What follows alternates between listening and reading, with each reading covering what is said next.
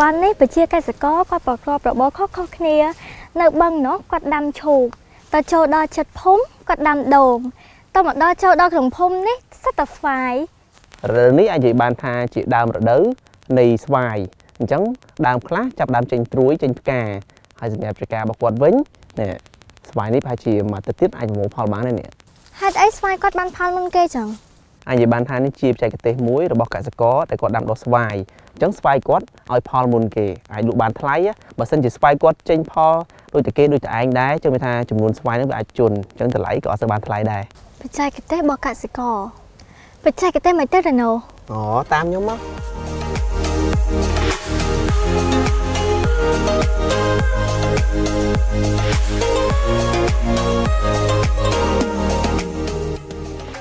សូនីតាសម្លឹងមើលនេះដើមស្វាយនីមួយៗណាផ្លែសឹងគ្រប់ដើមហើយផ្លែទាំងអស់នេះអាទិត្យក្រោយហ្នឹងគឺអាចប្រមូលផលបានហើយហើយជាពិសេសសម្រាប់ដំណាំស្វាយសំខាន់បំផុតគឺទឹកកាលណាយើងថែទាំដាក់ទឹកដិតដល់ធ្វើឲ្យវាចេញត្រួយចេញផ្កាមុនគេហើយវានឹងចេញផ្លែមុនគេហើយចេញត្រួយមុនគេចេញផ្កាមុនគេហើយបានផ្លែមុនគេទៀតត្រូវឲ្យបងអូនការធ្វើស្វាយបើយើងថែទាំស្វាយមានទឹកអីធម្មតាឲ្យល្អចឹងទៅពេលរដូវប្រាំងដែលស្វាយដែលថែ ស្វាយរដូវចាប់ផ្លែអស់យើងធ្វើបានត្រួយឲ្យបានចេញមុនគេ ការចេញត្រួយមុនគេចឹងទៅវាអាចនឹងមានផ្កាហើយនឹងផ្លែបន្តបន្តចេញមកហើយអញ្ចឹងយើងការប្រមូលផលរបស់យើងក៏បានមុនគេដែរធ្វើបានប្រមូលផលមុនគេគឺយើងបានអឺចូលលើទីផ្សារក៏មានតម្លៃខ្ពស់ដូចជាមួយរយៈមុនវាឡើងដល់ជិត3000ហើយបើដើមស្វាយរាប់រយដើមអញ្ចឹងលក់បានប៉ុន្មានតោននៅបង មួយសប្តាហ៍ទៀតបើយើងបេះម្លូសយកតែធំធំហ្នឹងបានប្រហែលជា10តោនជាងទៅ20តោន10តោនទៅ20តោនអាទិត្យក្រោយគាត់បេះពី10តោនទៅ20តោនសម្រាប់ស្វាយនេះសាក់គិតមើលទៅសូនីតាស្វាយនេះវាមើលទៅយ៉ាងតូចតូចមែនប៉ុន្តែវាសកាក្តាមហើយវាសម្រាប់ទៅបរទេសមួយអាទិត្យទៀតយើងយកទៅបានហើយដូចជាទៅថៃទៅអីចឹងណាវាតម្រូវការស្វាយប្រហែលជាប៉ុណ្ណឹង3 1គីឡូឬក៏4 1គីឡូហ្នឹងយកទៅបាន ឥឡូវតម្លៃល្អអញ្ចឹងគេអត់សូវរើសម៉ានទេត្រឹម4 5គីឡូគេយកដែរឲ្យទៅសាច់វាលឿងតិចតិចអញ្ចឹងណាអូរូបរាងស្វាយនេះស្អាតស្អាតណាសិតតែຂ្នាតគេនាំចាញ់ហ្មងនេះវាតម្រងស្វាយទំហំប៉ុណ្ណឹងបានហើយមួយទឹកទៀតយកទៅបានហៅថាសាច់ត្រីឬក៏សាច់កាក់អំពៅអញ្ចឹងទំហំស្វាយនេះគឺជាទំហំដែលយើងអាចបេះចេញលក់ទាំងក្នុងស្រុកហើយនិងក្រៅស្រុកបានទៀតមែនហើយសម្រាប់ຂ្នាតស្វាយនេះគឺល្អល្អប៉ុណ្ណឹងហ៎ ត្រូវឲ្យបងអូនស្វាយដែលយើងត្រូវនាំចេញទៅបរទេសគឺតម្រងស្វាយអញ្ចឹងគឺប្រភេទស្វាយល្អតែម្ដងអានេះគេក៏អញ្ចឹងដែរຂະຫນាតប៉ុណ្ណឹងគឺសិតតែស្វាយដែលយើងត្រូវនាំចេញទៅក្រៅបានហើយទៅថៃទៅអីហ្នឹងគាត់ចូលចិត្តដែរទៅម៉ាឡេបើនិយាយទៅក្រៅប្រទេសតែម្ដងអាហ្នឹងគឺមួយអាទិត្យទៅទៀតយើងប្រមូលផលបានហើយចការស្វាយនេះភាគច្រើនគឺស្វាយដែលវាល្អពេញຂະຫນាតតែម្ដងអឺអ្នកបេះគាត់ទៅចូលមកគឺគាត់ ស្រួលបេះពេញចិត្តហើយនឹងភ្ញៀវបរទេសក៏គាត់ពេញចិត្តដែរក៏ឃើញផ្លែស្វាយទំហំស្វាយពណ៌សម្បុរហ្នឹងគឺគាត់ពេញចិត្តយកហើយខ្ញុំទៅតែដឹងហើយបងខ្ញុំគិតថាស្វាយឲ្យតែផ្លែច្រើននឹងតែល្អហើយតាមក៏ប៉ុន្តែគេមានក្បួនខ្នាតរបស់គេដែលត្រូវនាំចេញដែរតាបាទមែនហើយបងអូននេះប្រភេទស្វាយដែលត្រូវនាំចេញបានហើយព្រោះវាមានលក្ខណៈរូបជាអក្សរ S ហ្មងណាឲ្យតែស្វាយតម្រងបែបហ្នឹងគឺម៉ូលពេញចិត្តហើយបានតែឃើញចង់បានហ្មងព្រោះយើងនាំទៅក្រៅប្រទេសត្រូវការ រូបរាងល្អពណ៌សម្បុរស្អាតហើយសាច់ពេលវារៀងសាច់លឿងតិចតិចណា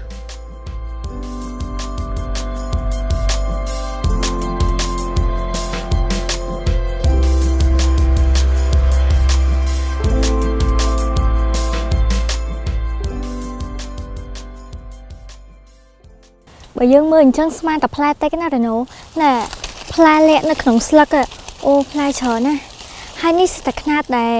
គេត្រូវនាំចេញខ្នាតដែលសអេសបងប្រុសគាត់និយាយមិញហ្នឹងរ៉េណូ ຂະຫນាត់អក្សរ S អឺកត្តាសំខាន់គោលដៅគឺខ្ញុំផ្ដោតទៅលើការថែទាំឲ្យល្អល្អទាំងសុខភាពដើមល្អទាំងផ្លែហើយនឹងការអឺផលហ្នឹងគឺធ្វើឲ្យបានមុនគេ ពេលណាដែលគេមិនសូវមានយើងមានទីផ្សារគឺគាត់ចូលមកដដើមទិញយើងហើយហើយតម្លៃក៏បានខ្ពស់អញ្ចឹងផលដែល ទទួលបានពីស្វាយហ្នឹងក៏នេះដែរក៏បានចំណូលខ្ពស់ដែរអញ្ចឹងគឺធ្វើទៅវាមិនប្រឈមមុខជាមួយនឹងការខាតបង់ណាកាលណាដែលថាធ្វើទៅជាគេក៏មានយើងក៏មានអញ្ចឹងគឺទទួលអាផលប៉ះពាល់ហ្នឹងគឺខាតបង់ហ្នឹងគឺប្រឈមមុខខ្លាំងតែម្ដងអញ្ចឹងការដាំដុះស្វាយហ្នឹងសំខាន់ប្រជាកសិករគាត់មើលថែធ្វើម៉េចឲ្យបានផលមុនគេ កាលណាតែបានផលមុនគេតម្លៃក៏បានខ្ពស់ហើយអត់ខ្វះទីផ្សារ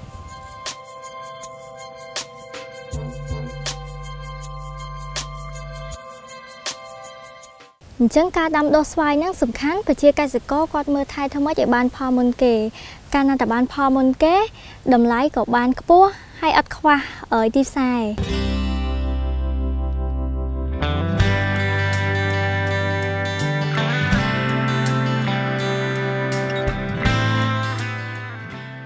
បងអូនមើលទៅមួយម៉ែកមួយម៉ែកហ្នឹងបើសិនជាយើងអត់ទល់គឺបាក់ហ្មង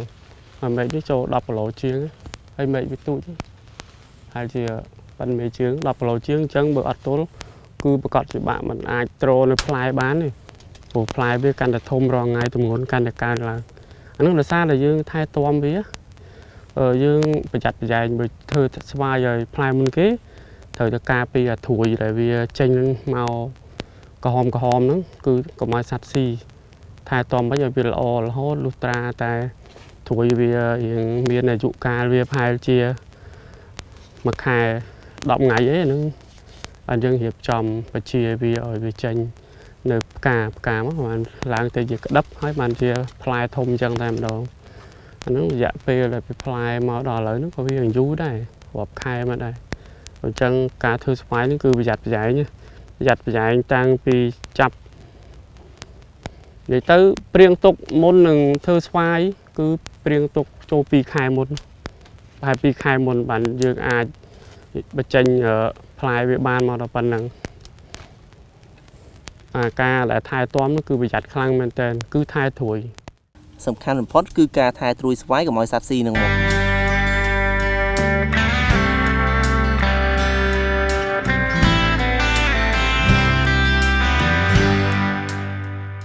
ដើមខាងនេះវិញនៅពេលដែលដើមគេចេញត្រួយអត់ចេញត្រួយទេប៉ុន្តែដល់ពេលនោះដើមខាងនោះចាប់ដើមចេញផ្លែហើយដើមខាងនេះទើបចេញត្រួយ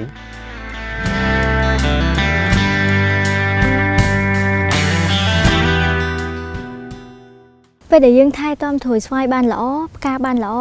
ផ្លែមកល្អអញ្ចឹងហ៎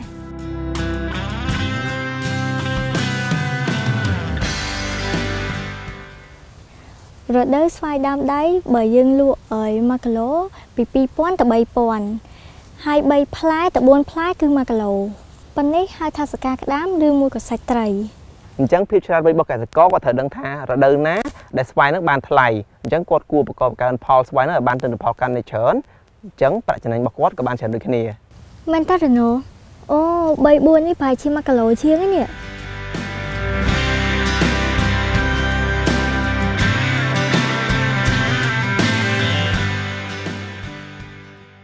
មែនតើនេះសូនីតាមួយម៉េចនេះបើមានឈើទល់ចេះទេបាក់មែនណា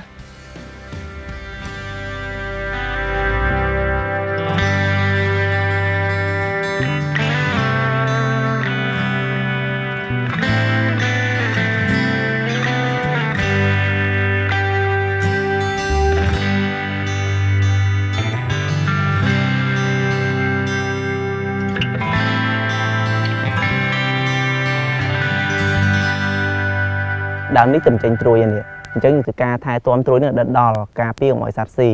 ហើយវានឹងចេញផ្កាបន្ទាប់ពីចេញផ្កាមកវានឹងខ្លាចទៅជាស្វាយដែលល្អបែបនេះមើលរូបរាងគេឡាអសអេសហ្មងណាហើយរូបរាងបែបនេះសម្រាប់នំចេញណា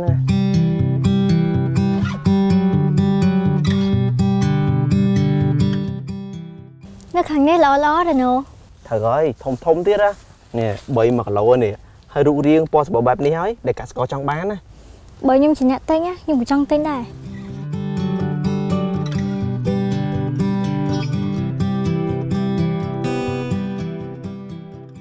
សូនីតាប្រហែលធ្លាប់បានឮព័ត៌មានដែរមែនទេតាក់ទងជាមួយនឹងដំណាំស្វាយហ្នឹងនៅពេលដែលរដូវប្រមូលផលហើយជន់ច្រើនពេកអញ្ចឹងធ្វើឲ្យកសិករដែលគាត់ដាំដុះហ្នឹងមានការល្អរទាំ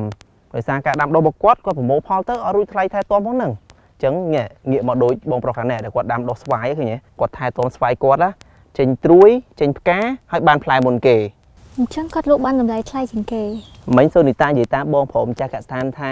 ស្វាយអញ្ចេះជាស្វាយសកាក្តាមឬក៏សាច់ត្រីដែលសាច់ខាងក្នុងនោះវាពណ៌លឿងលឿងដូចពណ៌ល្មៀតអញ្ចឹងណាហើយ3ទៅ4 1គីឡូហើយហើយរូបរាងវាអសអេស ជាຂະຫນາດស្វាយនាំចេញហ្មងអញ្ចឹងបើសិនជាថ្ងៃក្រោយខ្ញុំខ្លាចជាកសិករដាំដុះស្វាយខ្ញុំនឹងថែទាំស្វាយដូចបងប្រុសអញ្ចឹងហ៎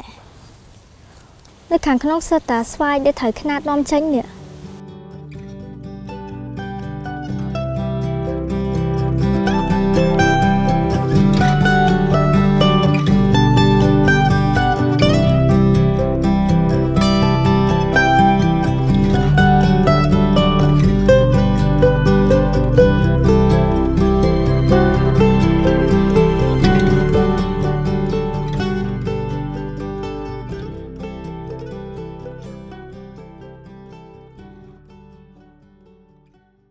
រណោរណោមកខាងនេះខ្ញុំអត់តាន់ដឹងថាស្វាយមកចកោមច្រើននេះត្រូវទំហំខ្នាតដែលគេត្រូវនាំចេញអត់ទេត្រូវហើយសូនីតាពណ៌សម្បុរបែបហ្នឹងរូបរាងអក្សរ S ជាលំដាប់ខ្នាតលេខ1នេះ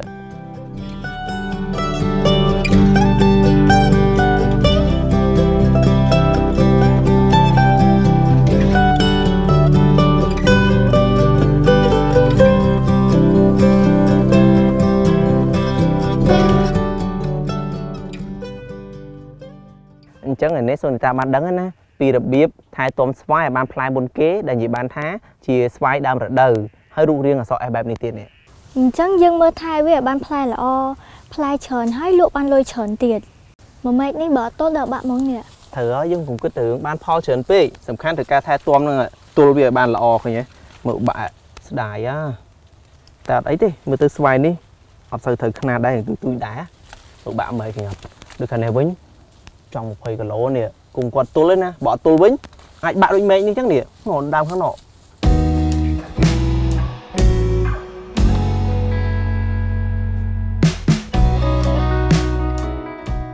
ជាបទពិសោធន៍របស់ខ្ញុំការធ្វើស្វាយឲ្យវាចេញនៅដើមរដូវឬយើងហៅថាស្វាយដែលចង់ឲ្យបានមុនគេចង់បានផ្លែមុនគេយើងត្រូវជួយឲ្យក្តីខាងក្រោមសើមដាក់ទឹកមក ហើយនឹងការថែទាំត្រួយឲ្យបានល្អឲ្យបញ្ចេញត្រួយថ្មីមកថែទាំឲ្យបានល្អហើយកត្តាសំខាន់គឺមើលតាមអាកាសធាតុស្វាយដែលវាផ្លែនៅដើមរដូវភាគច្រើនមានផ្លែនៅទិសខាងកើតច្រើនអញ្ចឹងយើងប្រយ័ត្នប្រយែងមើលត្រួយទិសខាងកើតហ្នឹងកុំឲ្យវាមានសត្វស៊ីច្រើនវាការពិតគឺយើងថែទាំទាំងអស់ជុំវិញដើមមិនថាទិសខាងលិចកើតជើងត្បូងទេប៉ុន្តែយើងប្រយ័ត្នឲ្យខ្លាំងគឺទិសខាងកើត គឺខាងកើតនឹងវាវាមានសេតនភាពត្រជាក់អឺព្រះអាទិត្យរះមកវាត្រជាក់ដល់ថ្ងៃខ្ទង់ម៉ោង10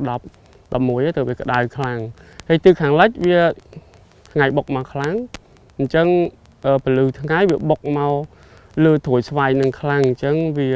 កាលណាដែលត្រួយស្វាយនឹងត្រូវថ្ងៃក្តៅខ្លាំងពេកវាពិបាកក្នុងការចេញផ្កាអឺអញ្ចឹងជាការពិតខ្ញុំសង្កេតឃើញថាខាងកើត វាផ្លែច្រើនមែនជារៀងរាល់ឆ្នាំតែម្ដងទិសខាងកើតគឺវាផ្លែច្រើនហើយកើតឈៀងខាងត្បូងវាមានចំនួនឲ្យល្អផ្កាស្វាយមកក៏វាកាន់ក្តឹបបានល្អដែរហើយសัตว์ក៏វាមិនសូវមានដែរឈៀងខាងហ្នឹងមែនតាបងជាងទៅបានឃើញផ្នែកខាងកើតផ្លែច្រើនហើយល្អល្អទៀត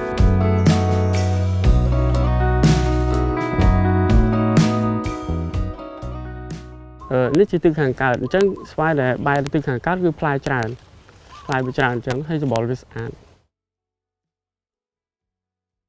ជាទូទៅគឺអញ្ចឹងតែម្ដងតាមក្នុងចំណាំរាល់ឆ្នាំផ្លែវាច្រើនអញ្ចឹងទិសខាងកើតដោយសារតែទិសខាងកើតហ្នឹងមានពលឺល្អហើយត្រជាក់ជាងខាងលិចចឹងហើយទៅទិសខាងកើតហ្នឹងផ្លែស្វាយល្អល្អហើយបានច្រើនទៀតអញ្ចឹងអានេះដឹងរឿងរ៉ាវមួយទៀតហើយយើងត្រូវថែទាំស្វាយទិសខាងកើតនោះឲ្យបានល្អ ការពិតទៅស្វាយដែលផ្លែល្អហើយច្រើនអញ្ចឹងខ្ញុំប្រើប្រភេទជីដូចជាប្រភេទជីធម្មជាតិសរីរាង្គជួយឲ្យផុសដីហ្នឹងដែលមានអឺជាមុខសัตว์ឆ្អឹងសัตว์ហើយនឹងសារធាតុផ្សំជាច្រើនទៀតដែលផលិតនៅក្នុងស្រុករបស់យើងជីសរីរាង្គវាជួយឲ្យផ្លែបានល្អច្រើនជួយដល់ផ្កាហើយនឹងជួយឲ្យដីយើងផុសជាធម្មតាមើលទៅដីនឹងវាធូរហ្មងក្បែរក្បែរគល់ណា ដីនឹងធូរអញ្ចឹងឲ្យឫសនឹងចាក់បានឆ្ងាយស្រូបអាសារជាតិផ្សេងផ្សេងជួយដល់ដងដើមនឹងផ្លែហើយបន្ទាប់មកយើងមានកបោរយក្បែរក្បែរគល់ហ្នឹងមួយឆ្នាំឲ្យបាន3ដង2ដងទៅ3ដង បាទតាមលទ្ធភាពយើងណាចឹងតើបានដល់ស្វាយបបងសុខភាពល្អហើយឯផ្លែវិញក៏ល្អទៀតដោយសារតែបងប្រើជីស្រីរៀងឬក៏ជីធម្មជាតិនិងកបោកសកម្មកបោកសកម្មដែលផលិតក្នុងស្រុកយើងហ្នឹងណាហើ យយកមកយើងបាចក្បែរក្បែរគល់ហ្នឹងគល់ប៉ុណ្ណឹងយើងបាចវាប្រហែលជា2ទៅ3ខាំហើយមួយឆ្នាំយើងបាចឲ្យបាន2ទៅ3ដងទៀតហ្នឹងហើយវាជួយឲ្យសម្រាប់អាមេរោគផ្សិតអីនៅក្បែរក្បែរគល់ស្វាយដែលវារំខានដល់ឫសស្វាយតែវារំខានដល់ឫសស្វាយក៏វាបង្អាក់ការលូតលាស់ដល់ស្វាយយើងដែរ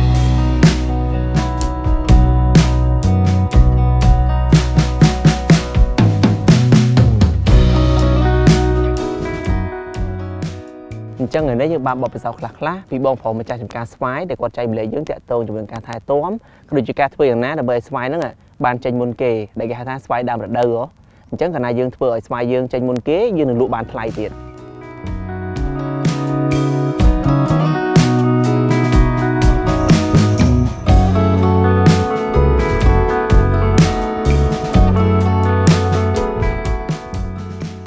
អញ្ចឹងសូនីតាយើងព្យាយាមប្រកបបង្កើនស្វាយយើងហ្នឹងឲ្យបានមុនរដូវទៅឬឲ្យបានថាស្វាយដើមរដូវណាធ្វើឲ្យយើងទទួលបានទិន្នផលហ្នឹងកាន់តែច្រើនអញ្ចឹងខ្ញុំនឹងយករឿងរ៉ាវល្អៗទាំងអស់នេះយកទៅចែករំលែកដល់កសិករនៅភូមិស្រុកខ្ញុំដែរហើយណែប៉ិនប៉ិននេះសើខ្នាតនាំចេញឲ្យសូនីតា